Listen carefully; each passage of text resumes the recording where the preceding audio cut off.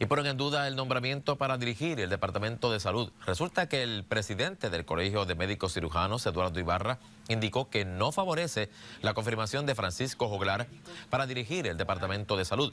Ibarra admitió que esto se debe a la experiencia laboral de Joglar con las principales aseguradoras médicas en el país indica que si Joglar tiene que actuar en contra de una o alguna de estas empresas, podría tener que inhibirse.